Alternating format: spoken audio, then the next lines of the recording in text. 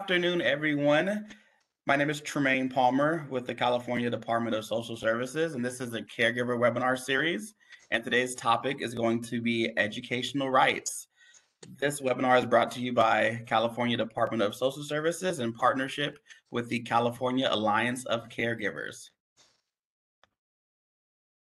Just some logistics of how today's meeting is going to go. This webinar is being recorded and will be available at www.caregivers.org forward slash webinars. If you would like a certificate of attendance, please email your request to info at caregivers.org as listed in the chat.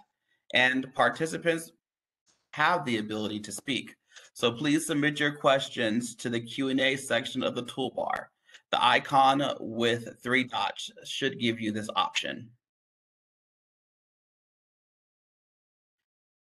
We are going to get started today with the Caregiver Perspective by Jennifer Rexroad, who is the Executive Director of the California Alliance of Caregivers. And that is going to be followed by our two speakers for educational rights, Jennifer Messerschmidt with the Permanency Services and Support Unit at CDSS, and Abigail Trillin with the Mills Legal Clinic with Stanford Law School.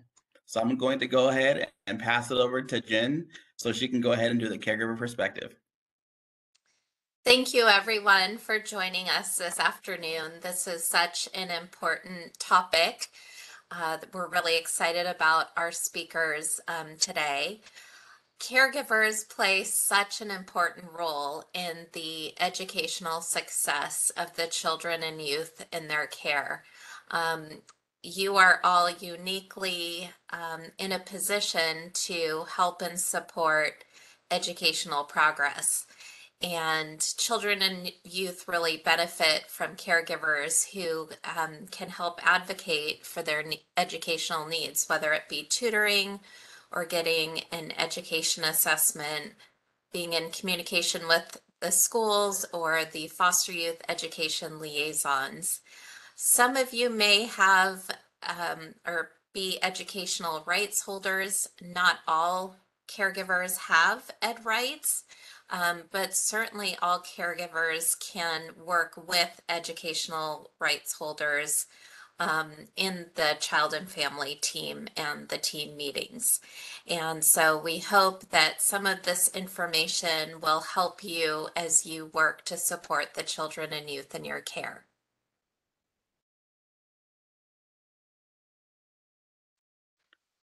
Great. Thank you for that, Jen. And I will go ahead and introduce our first speaker, Jennifer Messerschmidt. Um, you can go ahead and take it away. And I believe you have the ability to share your screen as well.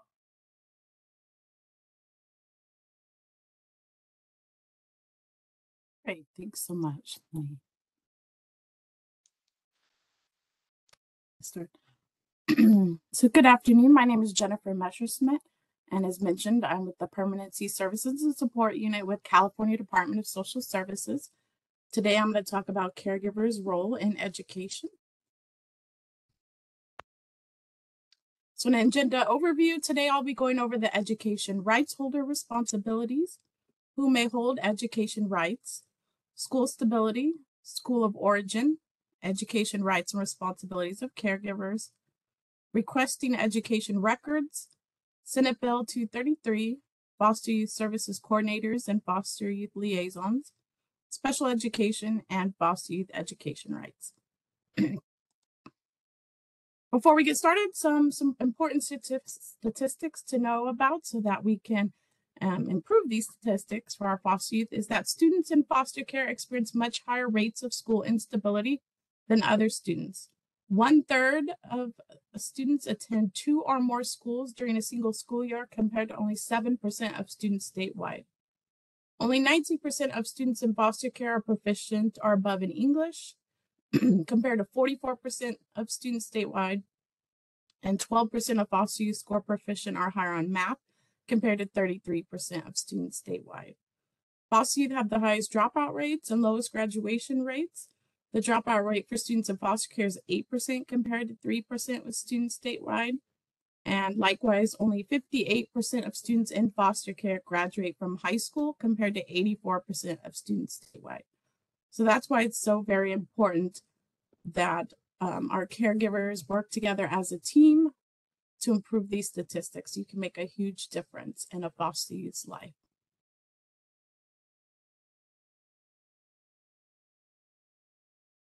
Education rights holder responsibilities. So education rights holders are individuals with the legal authority to make education decisions and access education records.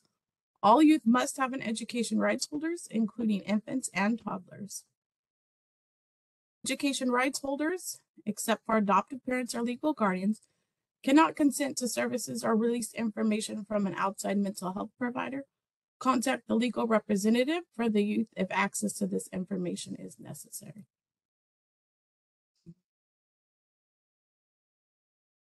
Education rights holders have a right to written notice of and or to make decisions regarding school enrollment, including transfers to alternative schools, school of origin, high school graduation, including AB 167 and 216, special education, that includes decisions regarding assessments and consenting to an individualized education program known as an IEP, early intervention, including decisions regarding assessments and consenting to an individualized family service plan known as an IFSP, school discipline, and mental health services provided through the use IEP.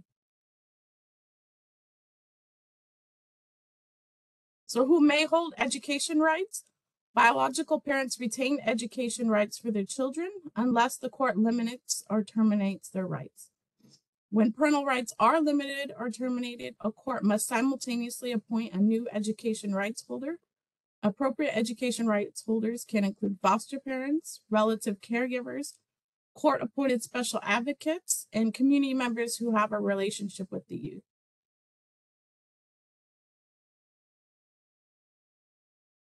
Uh, adoptive parents and legal guardians automatically hold educational rights. Prospective adoptive parents will automatically hold education rights once parental rights are terminated.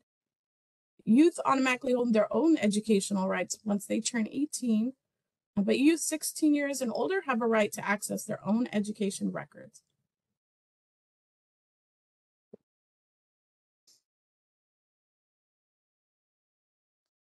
Um, who may hold education rights? So anybody that has a conflict of interest may not serve as an educational rights holder, including social workers or probation officers, group home staff, therapists, attorneys receiving attorney fees, school and regional center staff. Appointing an appropriate educational rights holder at each court hearing, the judge must assess whether the youth currently has an educational rights holder and whether that person is an appropriate educational rights holder. If biological parents continue to hold education rights, there will be no documents to prove this. Uh, but if a court limits or terminates a parent's education rights, then the court will issue a form which can be used as proof of who holds education rights. School stability matters. So foster youth transfer schools on average of six to eight times while in foster care losing four to six months of learning each time. As a result of school instability, only 20% again are proficient in English, 6% in math by 11th grade, and fewer than 60% of foster youth graduate from high school. So it's really important to try to keep um, youth in their school of origin um, so what is their school of origin? That can include the school the youth attended at the time they entered into the foster care probation system. And maybe the school the youth just most recently attended. It could also be any school the youth attended in the last 15 months that they have a close connection to involving sports teams, relationship with peers or teachers. And school of origin also includes um, their feeder patterns. So if the youth is transitioning from elementary to middle school, or middle schools to high schools. The school of origin will include the next school within the school district's feeder pattern so that they can promote to the next school with their peers. Um, for school of origin, foster youth have a right to remain in their school of origin if it is in their best interest as determined by their education rights holder. School of origin is the default. Before making any recommendation to move a foster youth from their school of origin, The district's foster youth liaison must provide the youth and their education rights holder with a written explanation of how it is in the youth's best interest not to stay in their school of origin. The youth cannot be moved from their school of origin until after written waiver of this right is obtained by the school district from the education rights holder.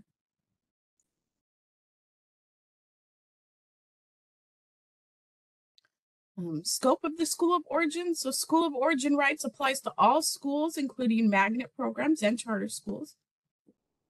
Duration of these rights. If a youth court case closes while they're in elementary school or middle school, they still have the right to remain in that school of origin until the end of that current school year. And if the youth is in high school when their case closes, they have the right to remain in their school of origin until they graduate from high school. Transportation funding. So many foster parents, including relatives, are eligible from their local child protective services agency if they transport a youth to their school of origin after a placement change. Under the Every Student Succeeds Act, school districts must work with child welfare agencies to ensure a youth is transported to their school of origin. Each school district's Title I plan must include assurances that the district will be collaborating with the state and local child welfare agencies to develop and implement procedures for how transportation to school of origin will be provided to the youth. And so here's a flyer that um, hopefully explains that. Um, so the rates are to be paid to foster family home providers, including licensed foster parents, approved relatives, certified foster parents, non-related extended family members, resource family. Um, for each foster child whose educational stability plan indicates that the child will be remaining in their school of origin. The travel reimbursement is eligible for youth from grades kindergarten through 12th grade who return to their school of origin. The foster parent reimbursement payment is calculated based on four one-way trips, taking the child to school and back and the driver back home, and then driving to pick the child up after school and then returning home. This payment is for a 12 month period and payment doesn't stop for any reason other than a physical placement move for the child. This payment requires uh, transport for the child also to extracurricular activities and parent teacher conferences. Um, so for the rates, it depends how far from uh, the placement home to school you're driving. But starting at from four miles up, there is extra reimbursement monthly that you may be qualified for. Um, there's also public transportation reimbursement if the youth takes the bus. Um, so it's something to speak to your social worker about if you are driving the child to this, their school of origin. dispute resolution, and if at any time there is a dispute regarding the youth's right to remain in their school of origin, the youth has a right to remain in that school until the dispute is resolved. Disputes should be referred to the school district's dispute resolution process, and a complaint can be filed on the youth's behalf through their Uniform Complaint Procedures Act.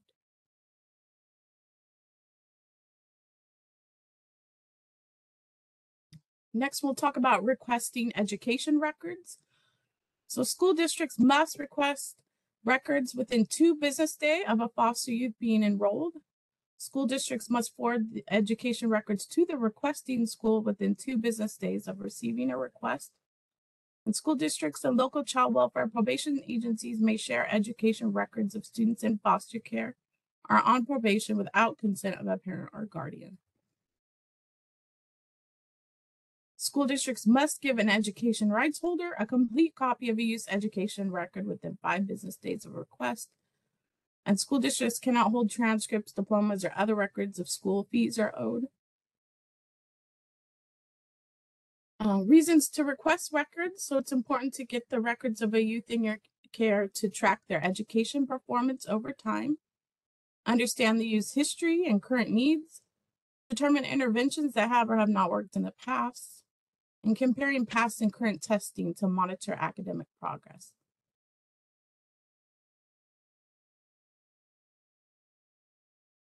Your child's education record. So the following changes relative to student records and education information of FOSSI have been made by uh, Senate Bill 233 that passed in 2017. It requires the school district to permit access to student records to foster family agencies with jurisdiction over a currently enrolled or former student. short-term residential treatment program staff responsible for the education or case management of a student, as well as caregivers who have direct responsibility for the care of the student, including certified or licensed foster parents, approved relatives, non-related extended family members, or a resource family. Um, the Senate bill expands access to student records to include current or most recent records of grades, transcripts, and attendance, discipline, online communication, special education assessments, and individualized education program, our 504 plan. It establishes the right and obligation and extremely important need of caregivers to access and maintain educational information about the child placed in your home, regardless of whether you've been appointed as the student's educational rights holder. Assessing these educational documents, so school districts, county's Office of Education, charter schools, non-public schools are all required to grant access to student records to approved resource family caregivers. Uh, again, whether or not they hold educational rights. And during the resource family approval process, caregivers will be provided with training about the expectations for their role in supporting a foster child with their education. Caregivers are obligated to access and maintain educational information about the child and relay information you gather to the educational rights holder when that is someone other than the caregiver. Caregivers should use the information gathered to update the health and education passport and to support the care of the child and their educational needs. Um, receiving educational documents, caregivers have the right to receive assistance assessing educational records from the placement agency. Placement agencies should partner with caregivers to ensure that caregivers can obtain their child or youth educational information and documentation that confirms their status as approved caregivers. Placement agencies are also responsible for providing caregivers with information about their rights and responsibilities with regard to accessing educational information. If caregivers have any education questions, or follow-up questions from the education training they received during the resource family approval process, caregivers can contact their child or youth social worker or RFA worker, um, placement agency, or you can contact the California Foster Care Ombudsperson at fosteryouthhelp at dss.ca.gov. Uh, more about Senate Bill 233. So information for school transfer, including name of last school, grade, achievement level, and any special problems should be included as part of the placement paperwork provided to you by the social worker. Social workers are also responsible providing to the caregiver the contact information for persons who hold educational rights and the contact information for the nearest foster youth support coordinating program and information about their rights and responsibilities. If these items are not included, ask your social worker to provide this information. This information may also be included in the child's health and education passport.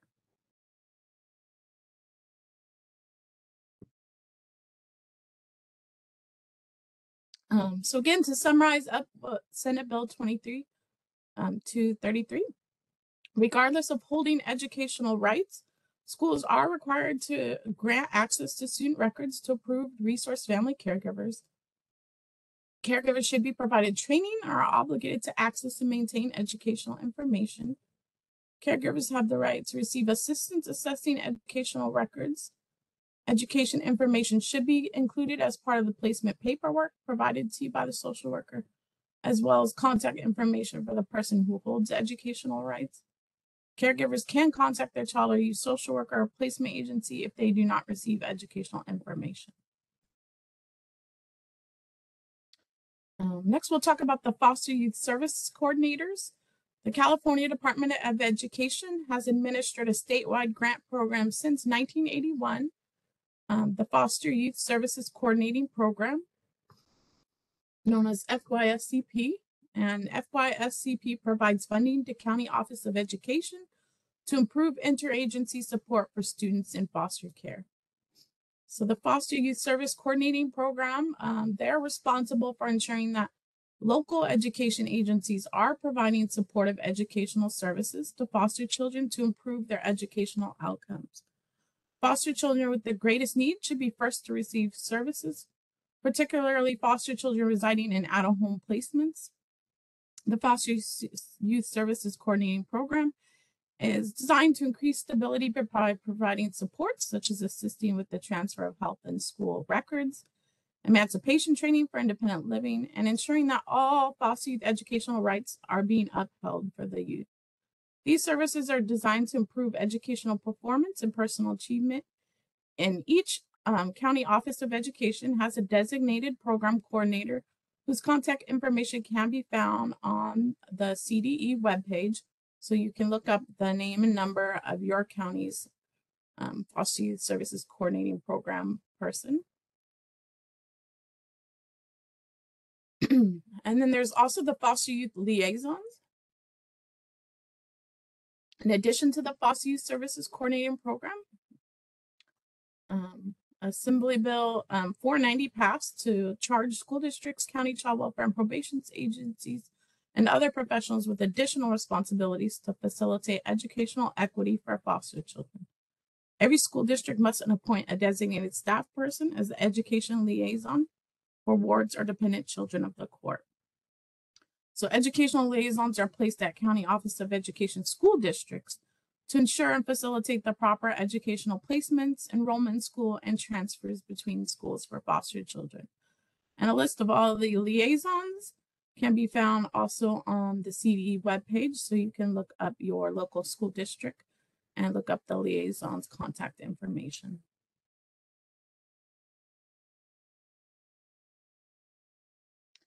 special education assessments and services.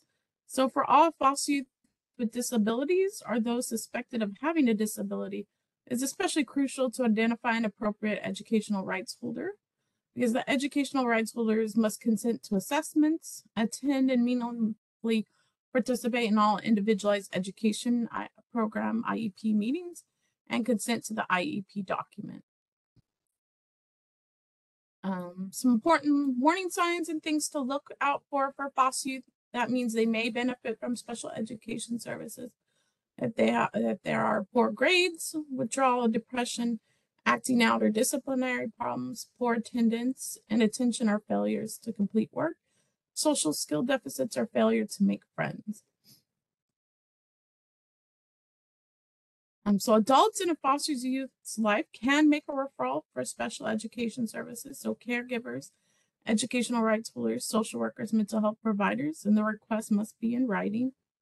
After the assessment is requested, school districts must either provide an assessment plan or written refusal to assess within 15 calendar days. The school has 60 days to complete the assessment and hold an initial IEP meeting Foster Youth uh, have other people serving them who can contribute to an IEP meeting, including non-educational rights holder, caregiver, social workers, or other outside mental health professionals. And even if the student is ultimately found ineligible for an IEP, students may qualify for needed services under um, a Section 504.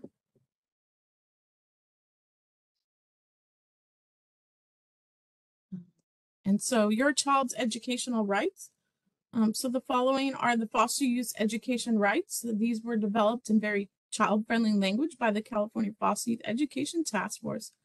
Um, so this will summarize the California Education Code sections pertaining to foster youth, because it is important for caregivers and youth to know the educational rights of youth in foster care. Caregivers should be reading and discussing these rights with the youth so that they understand their educational rights. Um, so you'll want to speak to your youth to explain to them that they have the right to remain in their school of origin. They have the right to stay in the same school even after they change placements. Um, and let them know this could be the school they attended when they first entered foster care, school most recently attended, or school in the last 15 months they feel connected to. School districts have to work with the youth and education rights holder and caregiver and social worker to develop a plan to transport them to the school of origin.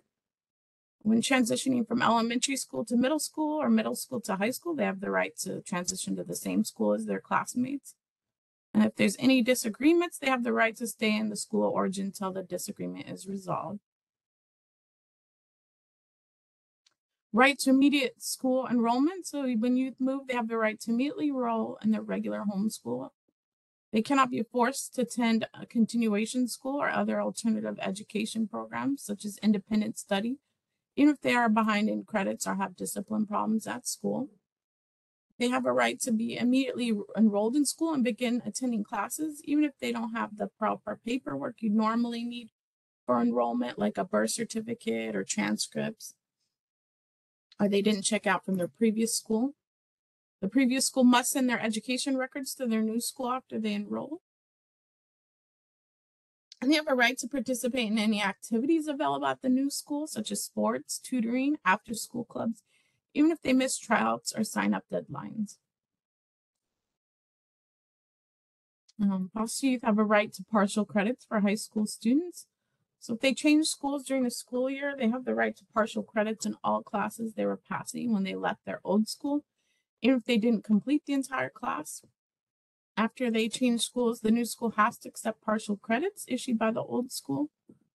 And if they change schools, they have the right to be enrolled in the same or similar classes they were enrolled in in their last school. They cannot be forced to retake a class or part of class that they already completed with a passing grade if it makes them off track for graduation. They have the right to take or retake classes they need to go to California State Universities or Universities of California. And their grades can't be lowered if they are absent from school for court hearings, placement changes, or court related activities. Graduation rights. So youth have the right to stay in their high school for a fifth year to complete their graduation requirements, even if they are over 18. If they're behind on credits and they transfer schools after 10th grade, they may be eligible to graduate under AB 167-216 by completing only state graduation requirements instead of the school district's requirements. And if they're eligible, the decision whether to graduate under AB 167-216 is made by the education rights holder. College rights, foster youth have the right to have the application fee waived when they apply to a community college in California. They have the right to receive um, the maximum amount of federal student aid, and they may be eligible for 5000 per year from a Chafee scholarship. School discipline rights.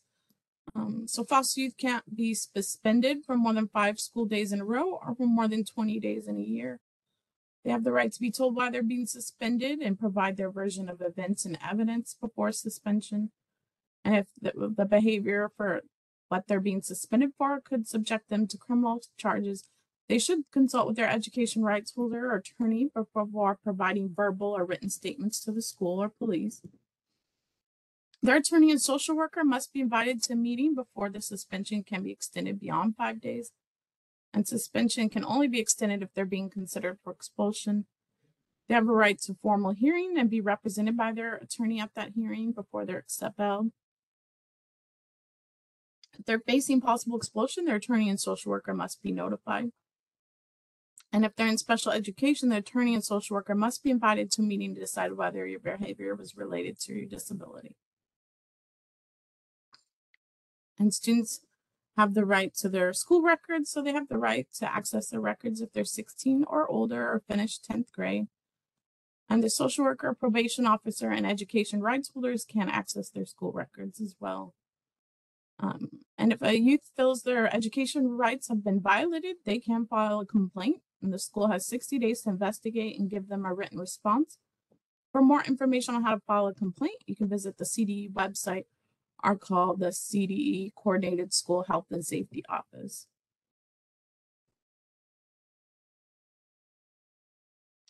Um, so in summary, for educational rights, um, youth have the right to remain their school of origin, right to immediate enrollment in school, right to partial credits for high school, rights to graduation and college, school discipline rights, right to their school records, and every foster youth under 18 must have an educational rights holder.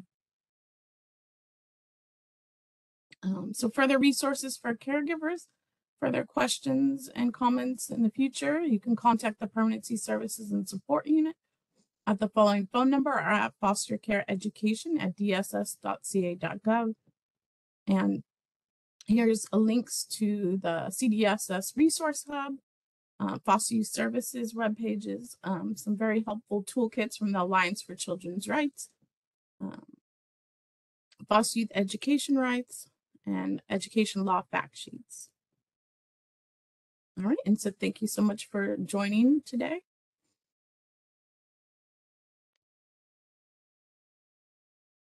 Perfect. Thank you so much, uh, Jennifer Messerschmidt, for that very informative presentation on educational rights.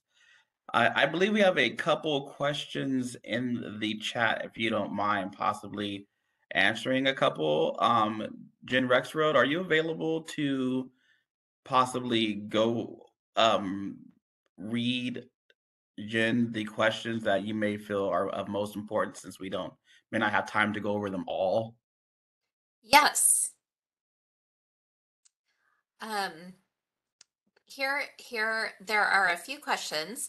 Um, can the resource parents, if they are sole ed right holders, choose to homeschool a foster child? If the neighbor school, neighborhood school in the resource family's neighborhood is full, um, is the school district what required to allow the foster child to enroll anyway? So there are a couple pieces to that. Um, if the resource parents are the sole ed right holders, can they choose to homeschool a foster child? And then the um, next part of the question is if the neighborhood school in the resource family's neighborhood is full, um, is the school district required to allow the foster child to enroll anyway? Good questions.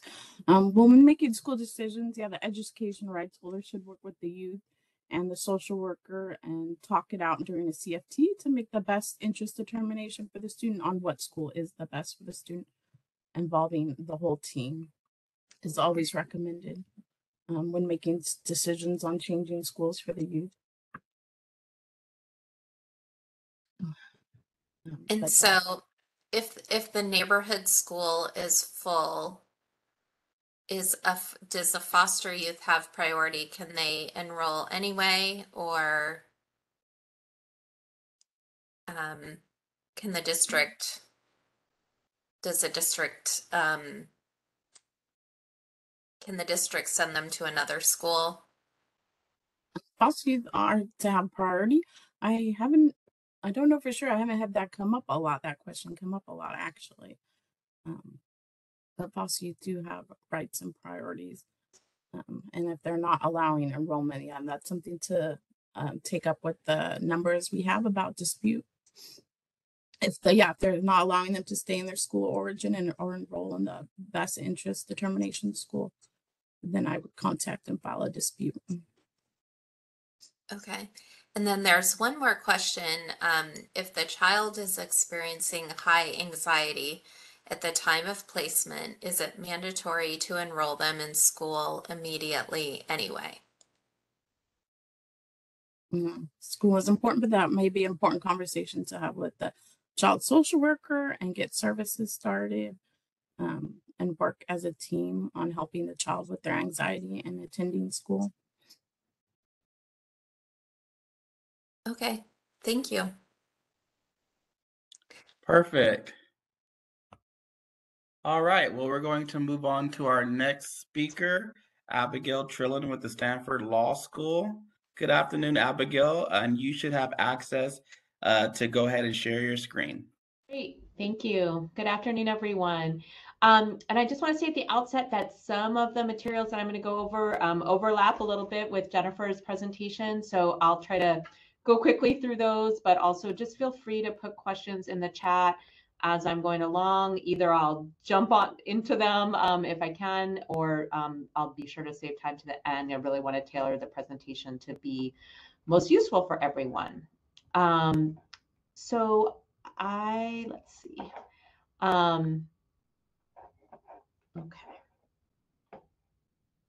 Can every, let's see. Just want to make sure this can be seen. Um.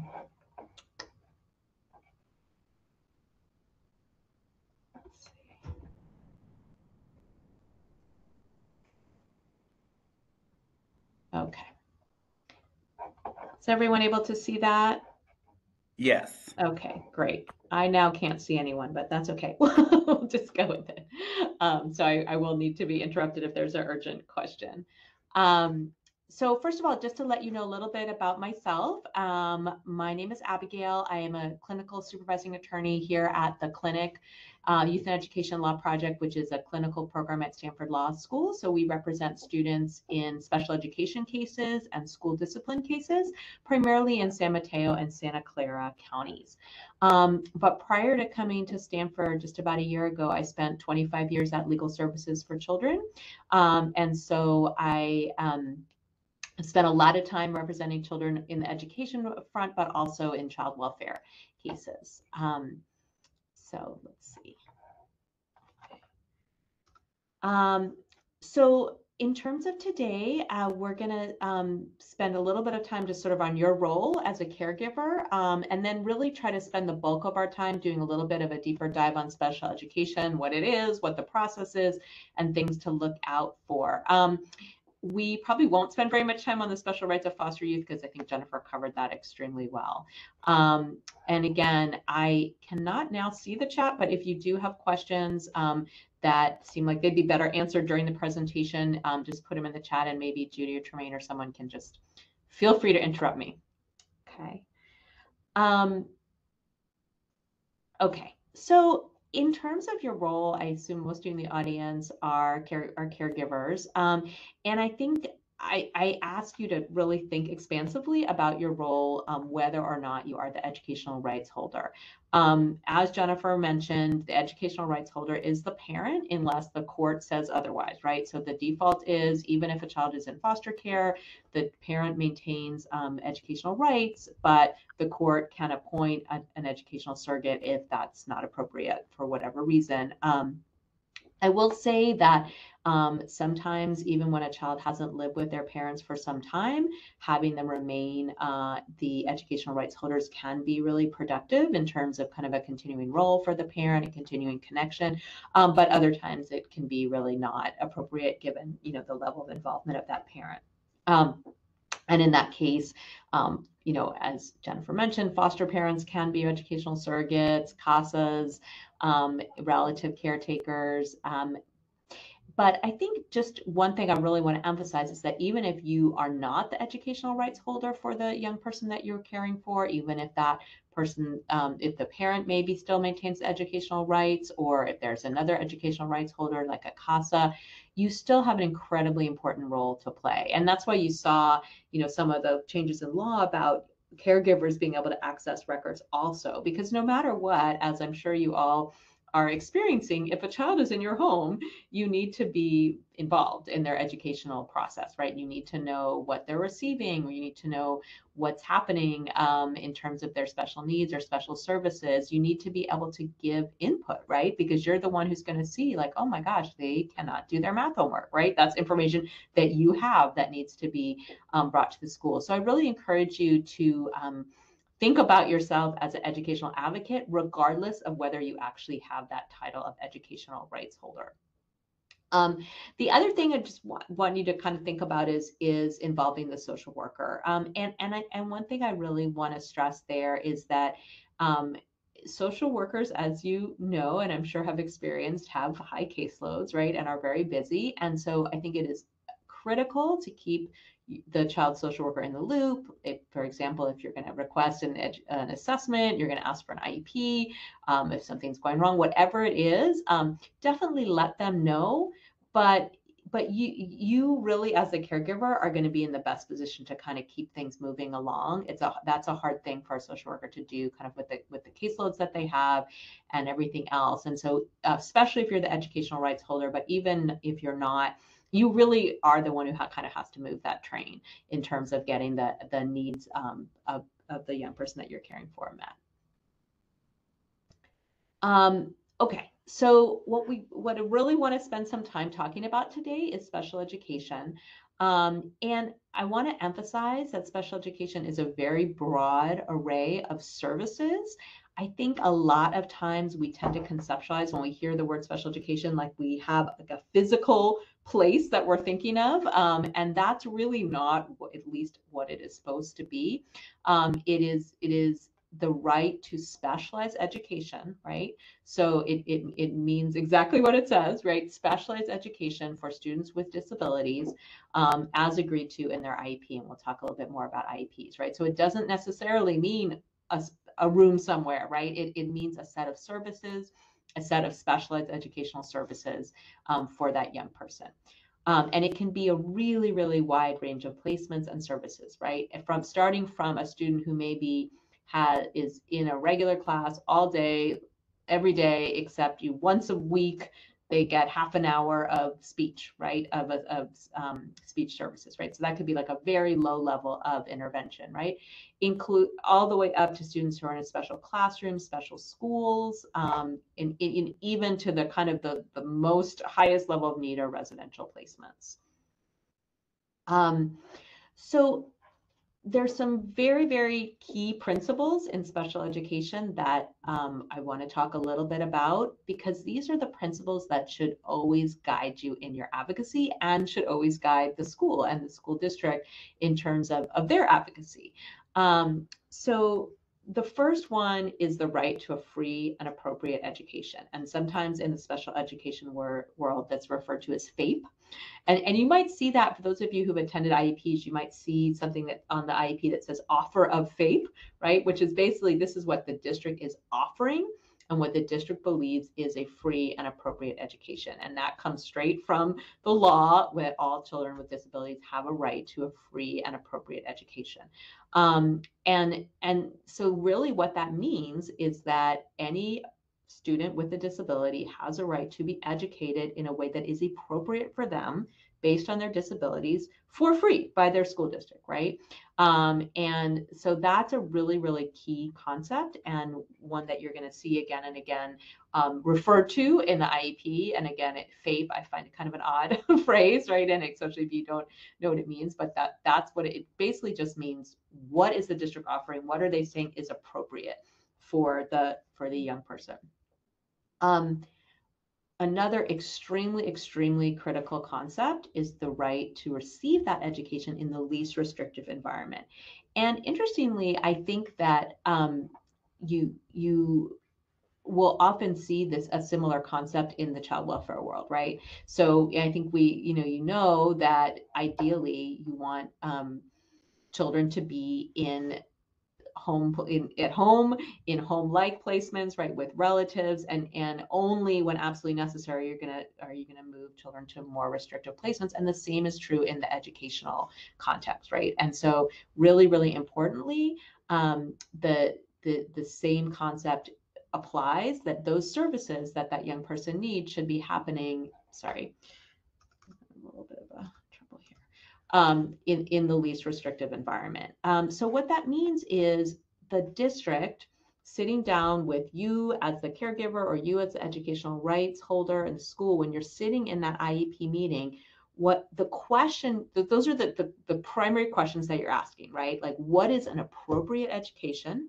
for this young person, given the disabilities that they may have? And what is the least restrictive way to provide that? And and another way of thinking about restrictive is sort of least segregated more most inclusive right? Because ideally you would like we would like every student to be able to get what they need regardless of their level of disability with as much time in a general education classroom with as much inclusion much which means being included um, with the rest of, of their peers right? And so what an IEP is supposed to look at is how can you provide those most appropriate services in the least restrictive environment, right? So the the, the where is that balance for getting that young person everything that they need to uh, address their disability in a way that takes them out of their their peer learning as little as possible, right? And so that's always the balance that you're going for. And you'll see if you've sat in IEPs, you'll see that discussed, you know, you, you, you actually have to write on the IEP what, what other things were considered to show that you're actually choosing the least restrictive environment because that is the law. Um, another core key concept for special education is this concept of individualized planning, right?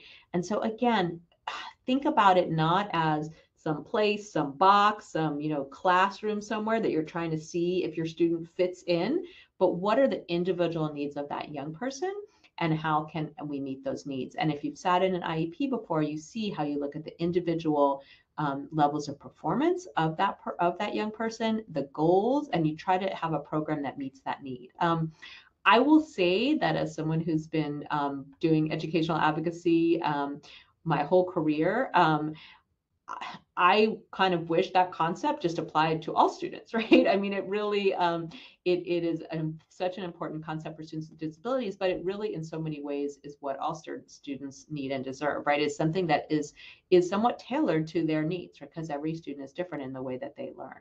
Um, but this is a really, really core part of um, special education law is this concept of individualized planning. And so, for example, you cannot, um, if, if an IEP finds that a student needs a certain kind of service, the, the school can't come back and be like, yeah, well, we just don't have that here at this school, so sorry, right? It has to be based on the individual need. Then they're going to have to figure out a way to either have that child attend a different school or have that service be brought into that school. You can't kind of just say, well, this is what we have here, you know, pick one of these three options, right? If that's not meeting the individual needs of that child.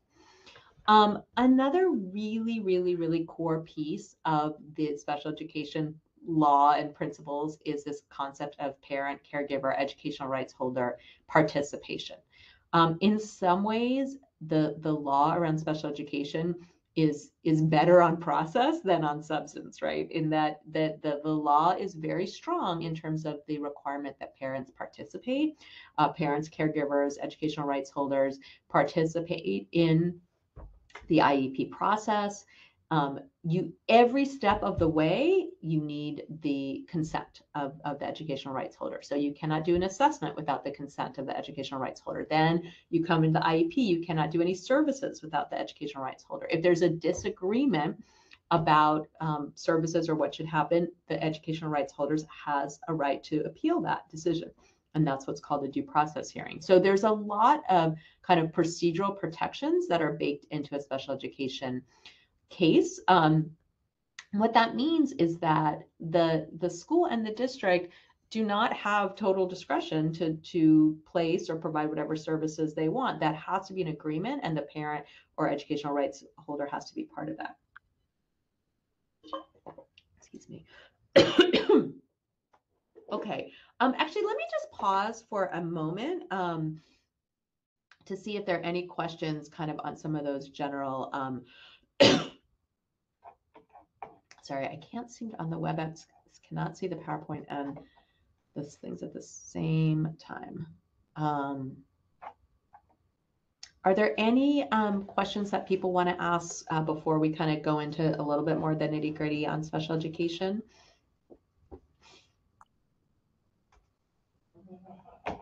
As of now, Abigail, there are currently no questions in the okay. chat for you at this All moment. right. Well, then I will I will keep going. Oh gosh, now I seem to have lost. Okay. so what qualifies a young person to receive special education services? Um, there are some, there are, I believe, 14 different qualifications, but I'm just going to kind of um, call out some of the most common ones that we see the most often. So um, one of the most really common eligibility categories is a learning disability. Um, and that's a really broad category. It can mean all kinds of types of processing disabilities, auditory processing, visual processing. Basically, something is getting in the way of the child's learning. And so, kind of based on what their intellectual capacity is, they are not um, performing at the level that you would expect. And so something is getting in the way. And so that is generally considered a learning disability. And many, many, many students qualify for special education under this this category. And there are, you know, all kinds of different interventions that might be appropriate, kind of depending on the severity of it um, and, and the specific needs of that child. Um, another extremely common category that we see is emotional disturbance. Um, it, you know, they changed it from severe, severely emotionally disturbed to emotional disturbance.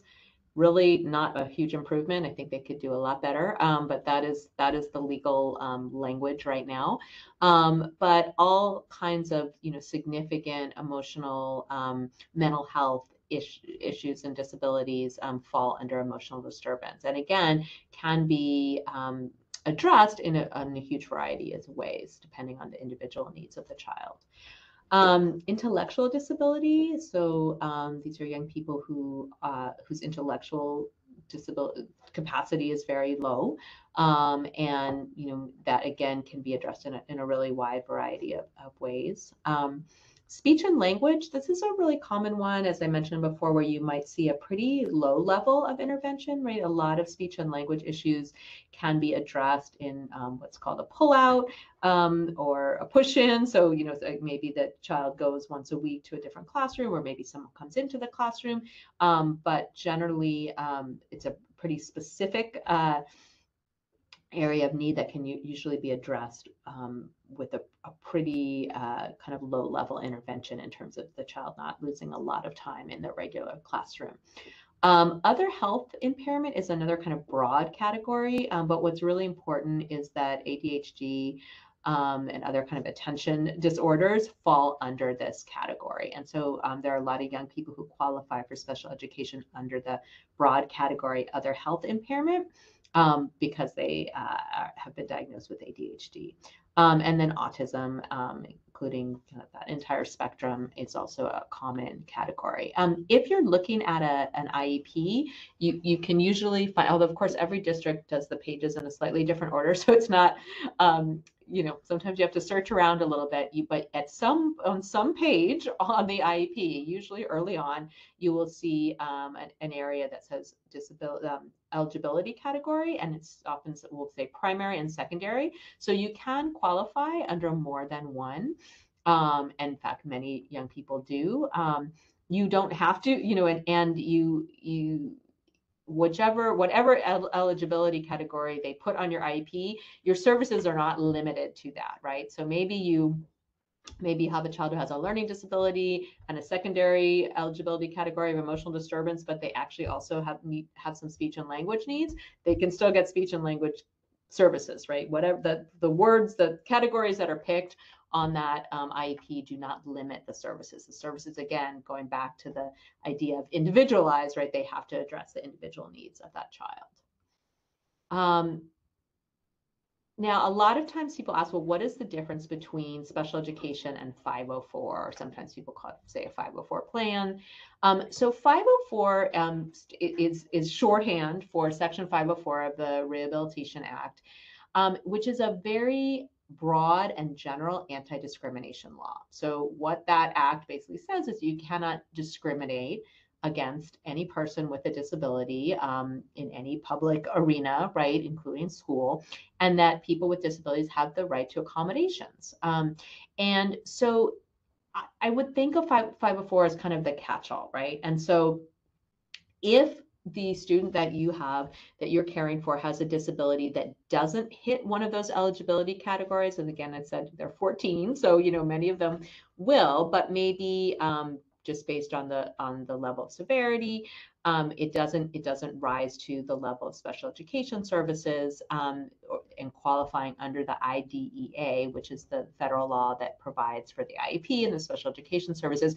It it doesn't mean they're not entitled to some level of accommodation, right? Because they still have some kind of disability that um, that that has to be accommodated under federal law. And so, uh, an example of this um, would be uh, perhaps a young person who maybe is suffering from some level of anxiety, but not at the level that would necessarily qualify them as emotionally disturbed under the under the um, IDEA, under the special education law. So because of that, um, they might not qualify for an IEP, but they would have the right to special accommodations. Um, so maybe that's taking breaks from class or, or certain things like that that might um, help with that.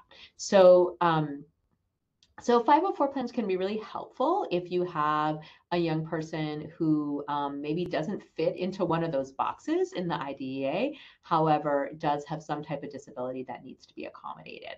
Um, however, a really important thing to keep in mind is that um, unlike the IDEA, which which is attached to funding, right? So, so schools get certain amount of dollars depending on how many students they have who have special education services. The 504 um, law is just a very basic anti-discrimination law. It does not have any dollars attached to it, right? And so what you'll see if you look at a 504 plan generally are things that don't cost money, like, oh, Johnny can sit in the front of the class or Susie can walk outside and take a break if she needs to, right? But you're not going to see a lot of services um, because it does cost money, right? And so, just a general advocacy tip is that if, if the services that your child needs are going to require some resources, that is probably going to need to be an IEP rather than a 504 plan, right? Because you're not going to get significant resources from a 504 plan.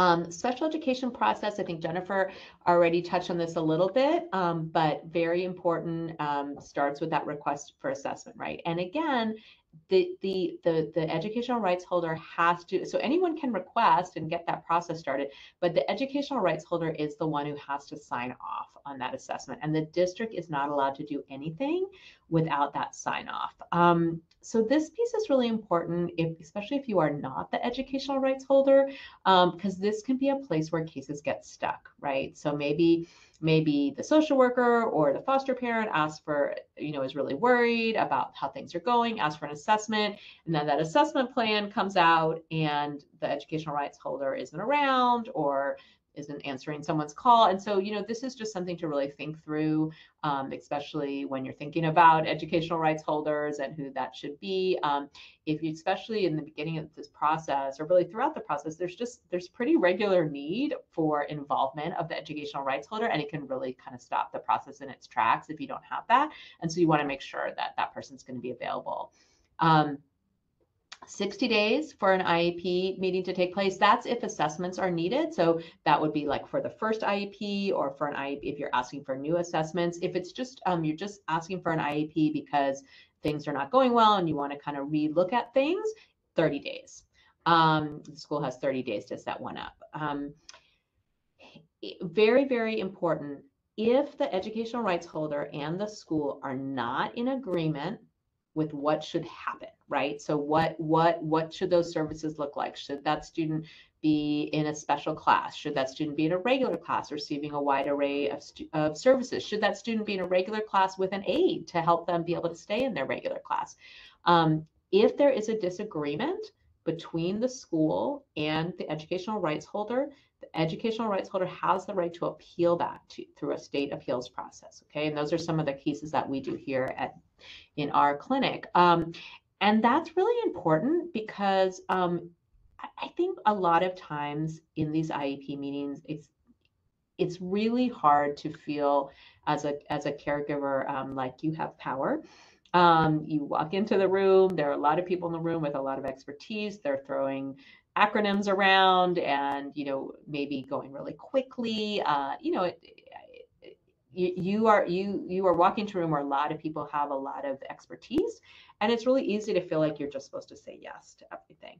But but keep in mind that you are the one with the expertise on the young person right? Um, whether that is a young person who you're related to, who has been in your home for a long time, or maybe um, a young person who might be newer to your family, but whom you you've been been living with and and working with, and and you know and talking to their social worker and other people in their life, and you, so you you have a voice. You should have a voice in that meeting and you also have have a have something in your back pocket which is that if you if you do disagree you have the right as an educational rights holder to have a hearing officer look at that decision. Um, most cases that are brought through the hearing process actually settle in mediation and often um, through that process the educational rights holder and student are able to get you know something that that is acceptable and better you know what really what they close much closer to what they wanted than what was recommended at the IEP. So just, you know, keep that in mind. You are not without power and you are certainly not without expertise to bring to the table in that meeting.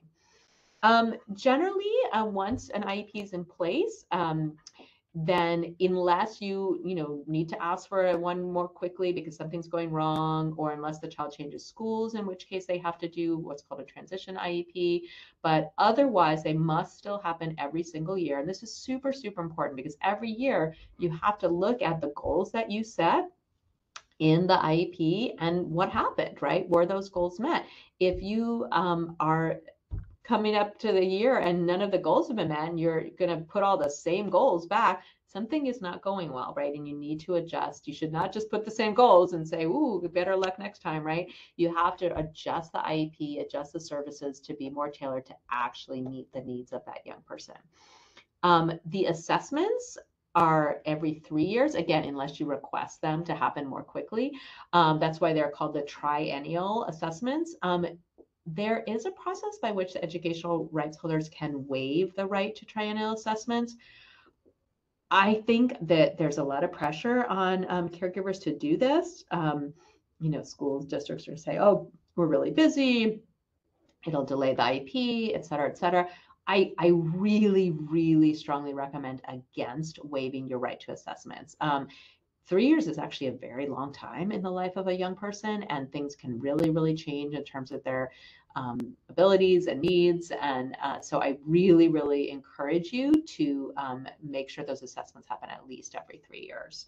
Um, another thing to keep in mind is that if there um, if you if you are concerned about the assessment if you feel like it really isn't capturing something, it's missing something, you just disagree with the recommendations, you do have the right to ask the district to do an independent assessment, to pay for an assessment to be done outside the district. They can say no, and you can bring that question to a hearing, right? But you absolutely have the right to make that request. And sometimes they'll, you know, just say yes um, versus going to a hearing on that issue. So that's something to keep in mind also if you just don't agree. And the assessments really vary. And I've seen so many assessments in my career from, you know, the ones that are really comprehensive and really well done to ones that, you know, are not. um, so, you know, you just want to make sure you're getting a really good picture.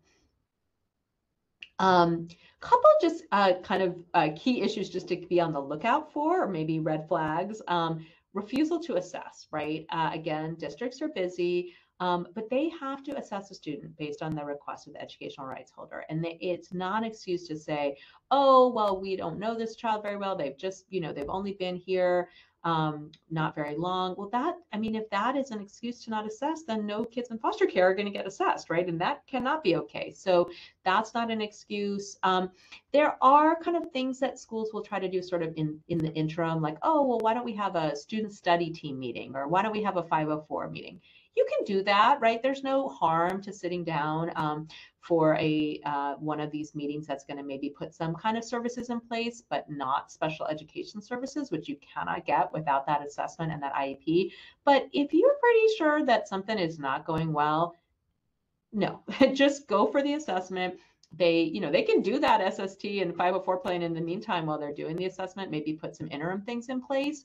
That's fine. But don't don't let them use that as an excuse not to do an assessment. Um, it's really, really important. And so many kids in foster care have not had the opportunity to be assessed because they've moved around so much. So if you have a young person in your home and they're finally going to be at a school long enough to have a full assessment, please, please, please don't let them kind of stall on that. Um, Another kind of red flag to just look out for that I feel has been really prevalent since the pandemic. I, I think that the pandemic, because everyone had to be on Zoom school for, you know, some fairly long period of time, sort of lowered everyone's um, expectation or, or, maybe raised everyone's sort of acceptance of the, this concept of online school. Um, but what we learned and what has been all over the, the newspaper recently is that it didn't work for most students at all, right? And that almost all students in California regressed tremendously during online school, in addition to all the other kind of mental health and, and related issues. Um, and so it, it's really not okay to push students just because we all went to Zoom school for some period of time does not mean that's okay for students to go to Zoom school. Um, all students have the right to be in in-person school. You cannot force a student into online school um, for any reason, right? For um, for behavior, um, it for the type of placement they're in. You know, you can't say, oh, well, now this student is is in a resi- in a short term residential, so we're just gonna put them online school. No. Um, every student has the right to be in person, regular school, um, or whatever program is appropriate based on their IEP. Um, and that should never say online school, right? Um, I, although I think to answer one of the questions that came up in the chat previously, there are clearly young people whose mental health is suffering so so significantly and maybe their level of anxiety is so high that they might not be able to go to school that first you know week that they're placed with you or even that first month. Um, that's a that's hopefully a temporary situation that maybe can be addressed with something like home hospital instruction where the student is receiving something temporarily at home. But again just until their mental health is such that they can attend school that should never be kind of like oh well this child has behavior issues so we're just going to put them on home you know online school or independent study. That's never ever ever appropriate um, and then the final thing I really want you all to kind of be on the lookout are issues of school discipline. Um, and as Jennifer talked about, there are, um, you know, relatively new rights in terms of um, uh, caregivers, um, educational rights holders, social workers, probation officers, attorneys for kids in foster care and probation being notified when school discipline events are taking place, like a recommendation for expulsion. Um, but very, very important to um, to know in the context of special education and 504 is that students cannot be expelled if the behavior was related to their disability. So this is super, super important. Um, if a student, if it acts out in some way that might cause the school to rep- recommend expulsion, the school first has to have a meeting and look at whether the behavior um, was a result of their disability. Um, and that's called a manifestation determination because they're they're trying to determine whether the behavior was a manifestation of the disability, right? And so you could see with a child who's maybe their eligibility cat- category is emotional disturbance, that's going to be a pretty easy call, right? Most of that behavior is going to be a manifestation determination. With students with other types of disabilities, it might be um, more of an argument, but often you can tie behavior to a disability. That is often the reason why students are acting out.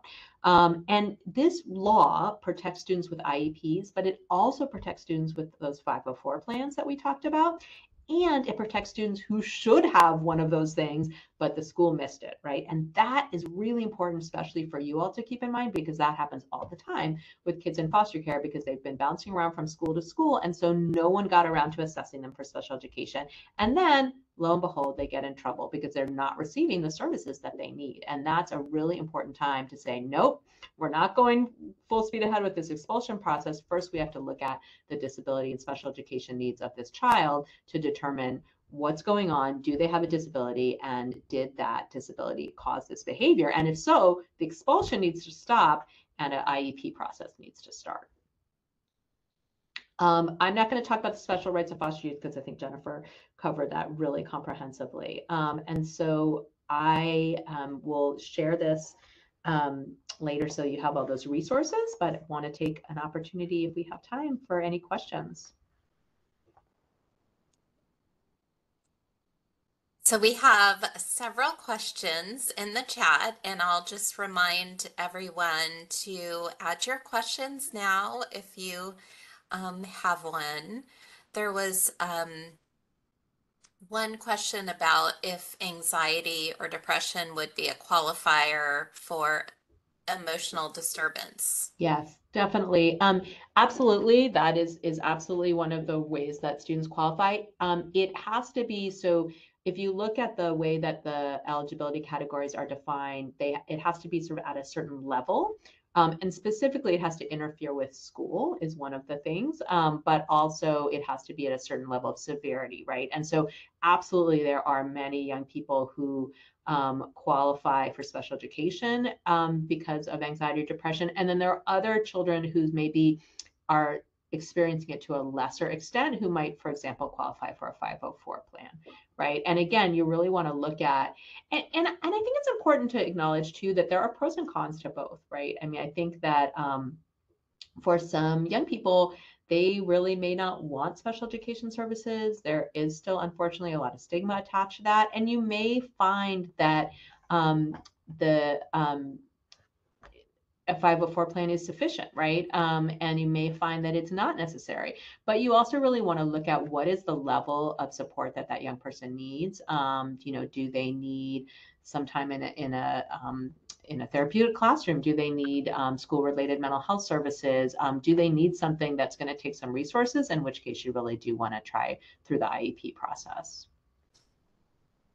Okay, thank you. And another question is, is it possible to have um, a student with um, Asperger's or on the autism spectrum enrolled in both a public and a private school?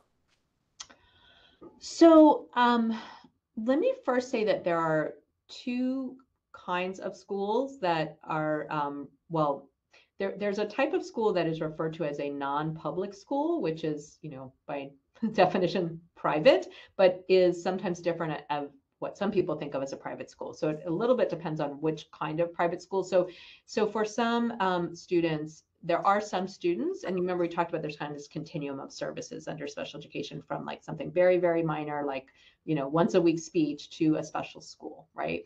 And so sometimes there are students whose disabilities are significant enough that they actually cannot be served in a regular public school, not even it's not it's more than even they need a special classroom they actually need a special school. And so there are schools called non-public schools that are actually not part of the regular public school district but that districts will contract with to provide those services to students who cannot whose needs cannot be met in the regular school. Um, so uh, i think it is possible i haven't personally seen it but i don't see why it wouldn't be possible for that to be like a half day program and then the student spends part of the day um, in their regular public school, maybe for certain classes. I think that's certainly possible. Again, IEPs are supposed to be individual, so that's what actually meets the needs of the student. I think that'd be possible. Now, if you're talking about a private school that doesn't have any relationship with the school district, like doesn't contract the school district, it's like completely outside of that, maybe a parochial school or a, what they call independent school. Um, I think that could be a little bit more complicated um, in terms of because a, a school district can't tell one of those schools to do anything, right? And so it's a little harder to kind of fit that into an IEP. So that might be a little bit more of a complicated situation. So, okay. And then um, another question if a child has OT on the IEP, but the school says that they don't have um, an occupational therapist, um, but they're looking for one, does the school have an obligation to make up this time or find another resource? So I love this question because this is this is yes, this is exactly the problem that um, that caregivers face so often, and and where the where you just get that like yeah, well yeah, but we don't have that person, and, and you know I mean in, to schools you know defense there are huge staffing shortages right now, but but the answer is yes it so IEP, you have to really think of an IEP as a contract, right? Like if you had a contract with someone to fix your dishwasher, they got to fix your dishwasher, right? So that's what an IEP is. An IEP is a contract between the educational rights holder and the school district and the school to provide a set of services. And if it has been determined that what your child needs is occupational therapy, and that gets put in their IEP, then the school has to provide it and either they have to if they don't have someone at their school then they're going to have to you know have someone come in from a different school or bus your child over to that other school once a week. Or and if it takes them a bunch of time to do it they owe you those back hours right? And so um, for example i had a client last year who missed a lot of speech hours um, during covid during remote school because the speech teacher didn't seem to understand the whole zoom.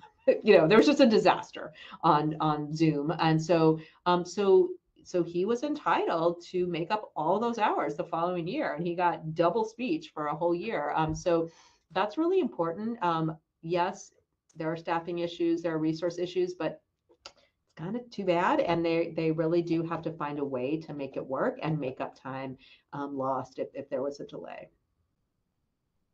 And that's called comp ed or compensatory ed if they have to make up time that they didn't provide to you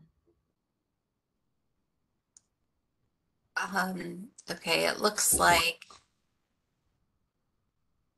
Oh. Oh, the question on homeschooling? yes. Okay. Yeah, so homeschooling is actually a really uh, complicated and interesting topic, especially in California.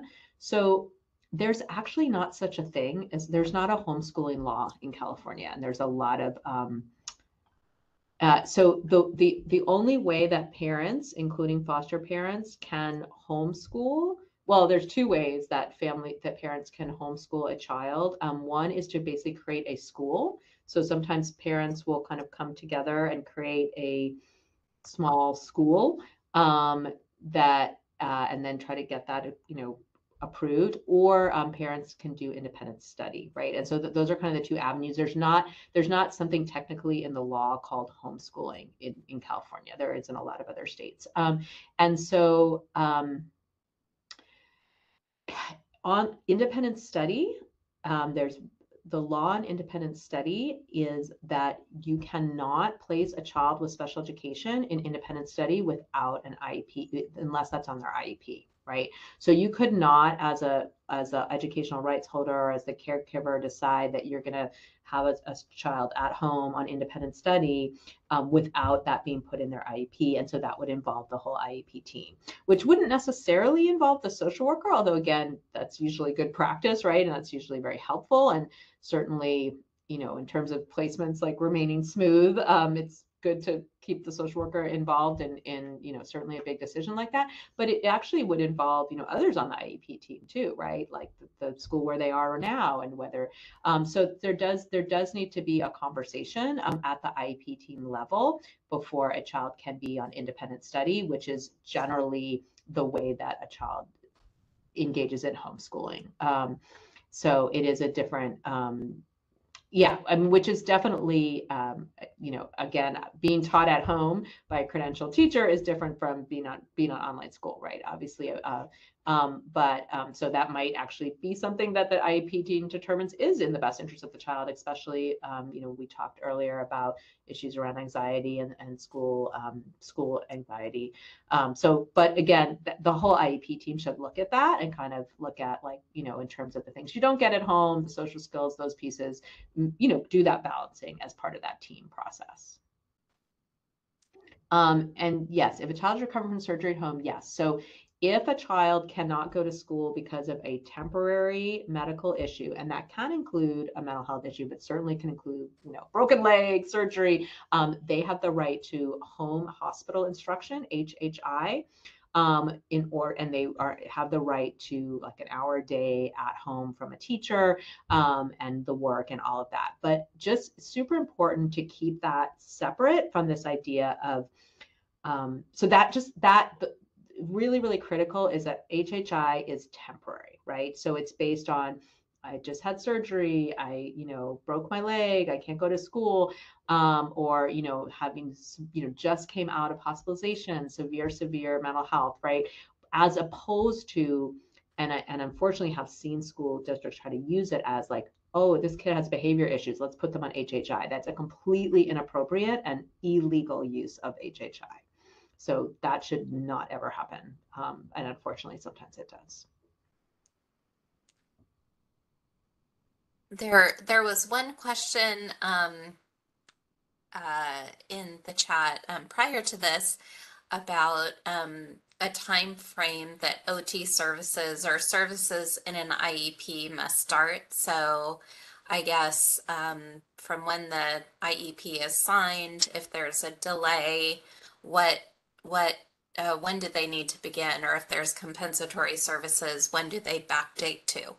Yeah they're supposed to start immediately. And usually if you'll see on the services page of the iep it will say the service for example ot say the frequency twice a week for 30 minutes whatever that is. And then it will say the the time period. And it will usually be from the date of the iep for one year because the idea is you know every year you're supposed to have a new iep um, i guess you know, it is conceivable that you, the IEP team could agree, okay, well, we know for sure that we don't have someone here, so we're going to actually put that service to start in a month to give the district time. You know, I don't know if I would agree to that as a parent, but you know, but but otherwise, you know, whatever's in the IEP, which usually is the date of the IEP or the you know the next day, um, that's when it's supposed to start, and that's when the comp ed services should be from. because you think about it, if the IEP determines that you need that service, you don't need it in a month. You kind of need it like right now. So. And how can we advocate for a child in a DDMI institution to receive an education that's appropriate? Um, so can I maybe get a little more clarification? Is this maybe someone is educational rights holder of a child who's not living with them, who's in a residential? Um, so I guess, um, well, maybe I'll just try to answer it this way. I think that um, really critically, if you are an educational rights holder, it is your right and your actual responsibility to advocate for the young person to have the educational services that are in their IEP or to have a new IEP if the services are not appropriate. Um, and, and that shouldn't change based on where they are, right? Unless it, unless you know if if if this if the services were not working in a in a certain let's say in a school and the child ultimately goes to a, um, a residential school uh, a residential treatment program based on you know significant mental health issues for example then you know by nature the services are going to change and you're going to have a new iep but but assuming that the educational needs don't change then the iep shouldn't change and where you are shouldn't impact um, what you know what your placement is. So for example um, if uh, you know again this is something that we've seen is children going to a short-term residential treatment program which you know despite the name are not super short term right? We're not talking about you know a month um, and then being told well okay well our program doesn't you know we don't actually like to transport kids so we're all just going to have school here on the computer that is not okay, right? Each of those children, child, and, it, there actually is it's clear state law that children in short-term residential treatment programs, group homes of any kind, have the right to go to their regular school in that school district or their school of origin, whichever um, you know is decided in the best interest. And so the placement itself, where a child is living, should not determine the IEP. Um, what could determine a new IEP or a new um, set of educational services are if the educational program is not going well and not working. But if the child is um, the, the, IEP process, I guess to, to kind of answer the basic question is the, the mechanism to advocate for a, a child in any institution to receive an appropriate education is the IEP process, whether that's calling a new ed IEP, whether that's filing a complaint if they're not following the IEP or threatening to file a complaint, which sometimes can be effective. Um, but it, that IEP, just really keep in mind that IEP is a contract. It is a legal document. It is a contract, which means that if it's being violated, you can file a complaint and or you can you can demand the, the compensatory ed and so that is your best tool as an advocate is that iep if that makes sense. And one more. How many hours of home hospital must be provided per week by the school district? I think it's one hour a day um, but i'm not 100% but i'm pretty sure it's one hour a day